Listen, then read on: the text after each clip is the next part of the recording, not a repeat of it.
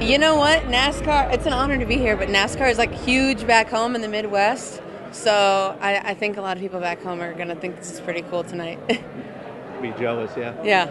Um, so uh, tell me about you know you won American Idol. You're are you getting used to the upward trajectory? Um, you know, it's uh, it's like I've I've adjusted to it. You know, I, I'm still adjusting to it, but I mean, I had to adjust pretty quickly and get used to this lifestyle kind of overnight. And so I've, I'm trying my best, and uh, I'm still. Well, I'm here, so. How long before you're a Vegas headliner? oh man, that'd be cool, wouldn't it? I mean, yeah, I, I gotta get, I gotta work my way up yet. I'm trying to get on a tour for next this next summer, so.